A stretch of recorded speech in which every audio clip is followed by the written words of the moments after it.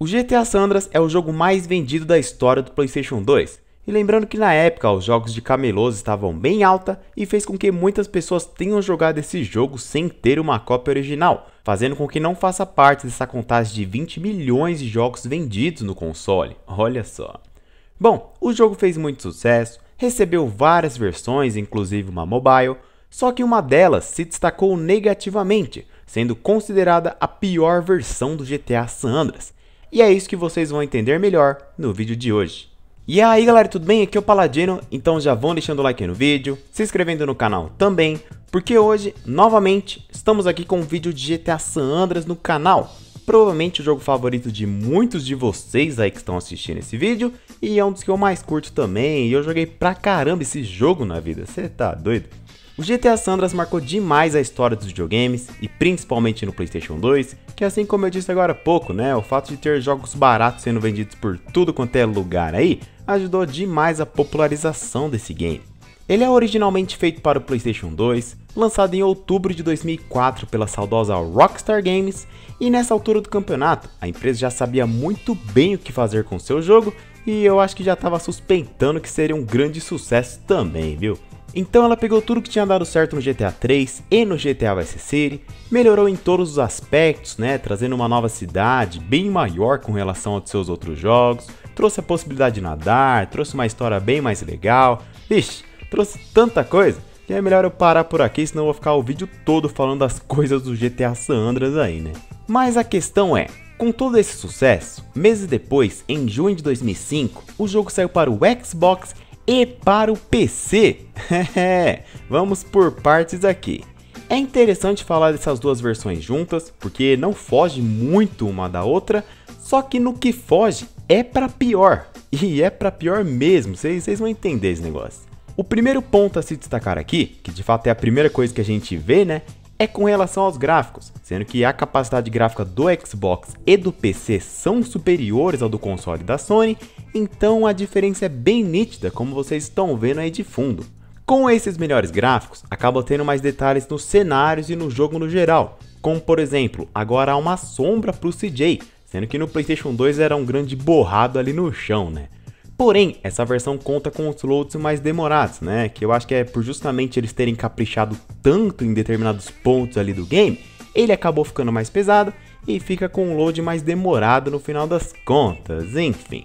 Outra coisa impactante envolvendo os gráficos é com relação às saturações das cores, sendo que no PlayStation 2 tínhamos um sol brilhante batendo ali em tudo quanto é coisa da tela, e nessa versão de Xbox de PC não o jogo era mais escuro, mais cinza, sei lá. Lembrando também que com relação a essas saturações aí diferenciadas, temos também os carros mais foscos no jogo também. Na versão de Playstation 2, quando você andava rápido, sempre rolava do jogo não carregar direito o fundo da tela, vocês lembram? Já aqui nessa versão, eles conseguiram meio que prolongar essa renderização do fundo ali, então você acaba jogando e nem percebe isso direito. Isso daqui realmente é da hora, é um ponto positivo aqui pro jogo. Aqui temos a possibilidade de jogar com a tela widescreen e também trocar o idioma, olha só. Só que não, não tem português. O português só vem com os jogos da Geomatrix e ela só produz as modificações para o PlayStation 2 mesmo, hein?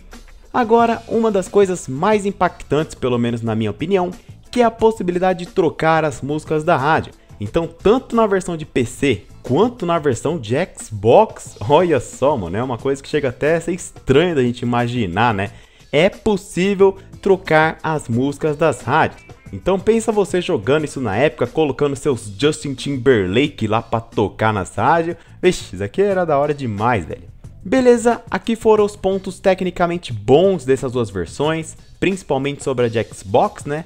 Só que chegou a hora de vocês conhecerem um pouco sobre a versão de PC do GTA San Andreas.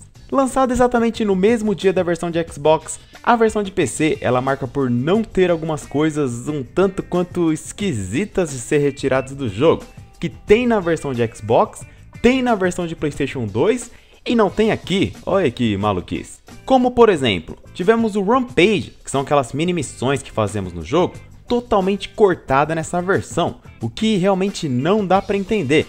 Se isso fosse cortado lá no Japão, sei lá, a gente ia falar, ah, é por causa da violência, né? Incentiva a violência nos jogos, sei lá. Só que cortar isso de uma versão de computador não faz sentido nenhum, velho. Não faz sentido nenhum. E outra, também cortaram o modo multiplayer local, que é aquele modo que você jogava de dois, que você tinha que ir lá no lugar pré-definido no mapa, né? Encontrava o ícone e podia jogar de dois zoando por aí, vocês lembram? Pois bem, por algum motivo, na versão de PC também tiraram isso, olha, velho. Agora, vamos para uma lista de outras coisas alteradas aqui que não dá para entender. Olha só, vão anotando aí, hein? Não tem reflexos de coisas em helicópteros. Aliás, tem um efeito bem bugado com relação às hélices dos helicópteros também, sei lá, fica um negócio muito estranho ali. Na verdade, esse jogo tem até alguns problemas nas cutscenes também, que acontece dos carros travar. Vocês já viram isso? Não, não faz sentido. Como que a Rockstar disponibilizou um negócio assim, mano? A animação do paraquedas é meio piorada também, olha só. Aqui temos menos pedestres nas ruas. Na verdade, o que parece que foi feito foi uma redução de lugares que eles podem passar. Então, tem vários trechos de ruas ali que ficam extremamente desertos. Olha que coisa maluca, velho.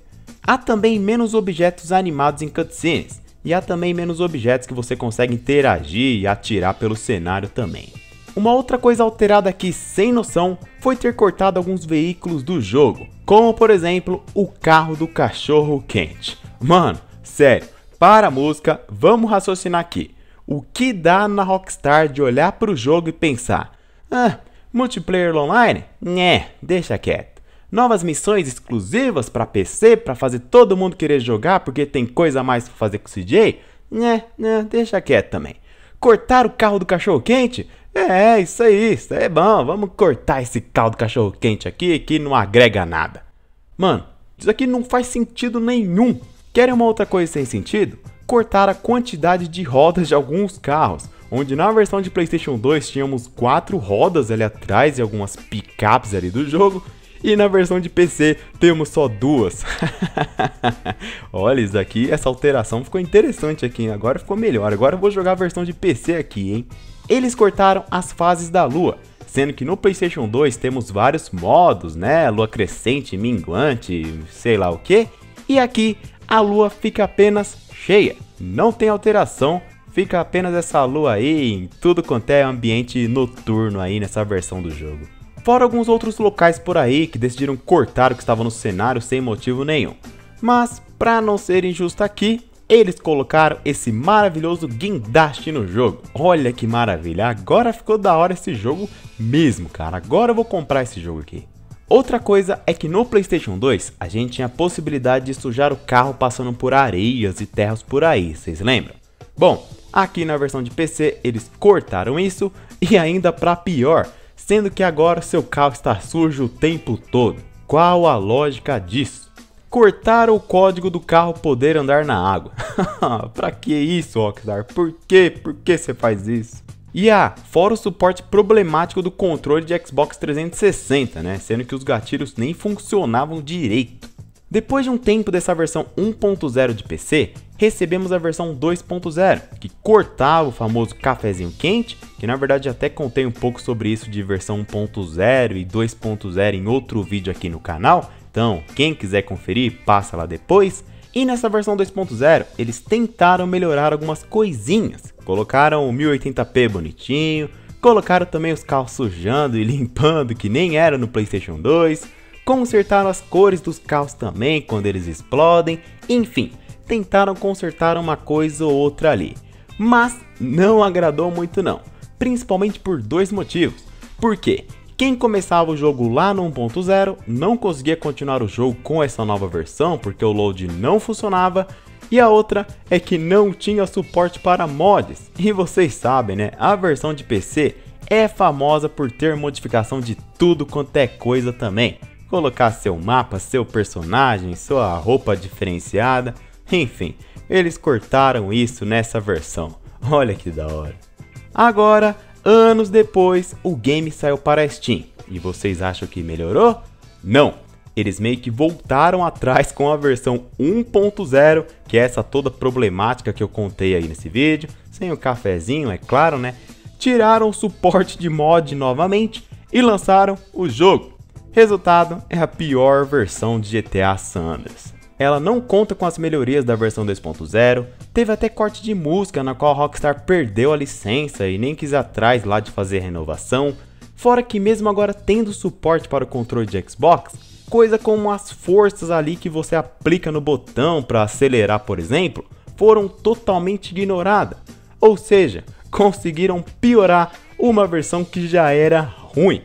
Pois bem, galera, esse foi o vídeo de hoje apresentando para vocês aí a pior versão do GTA San Andreas. Eu espero que vocês tenham gostado. Comentem aí outros jogos que vocês querem conhecer a pior versão também, tá bom? Às vezes eu posso trazer aqui como um quadro no canal, se vocês curtirem. Lembrando, muitas das coisas que eu falei e mostrei no vídeo foi graças ao meu amigo Joiveno, tá bom? Então fica o meu agradecimento aqui a ele. Como recomendação final, eu deixo esses outros dois vídeos aí para vocês conferirem. Na verdade, vídeo de GTA Sandras é o que mais tem aqui, né? Então, quem curtir o jogo pode se inscrever, que não vai se arrepender. Então é isso, muito obrigado a todos, falou e tchau, tchau.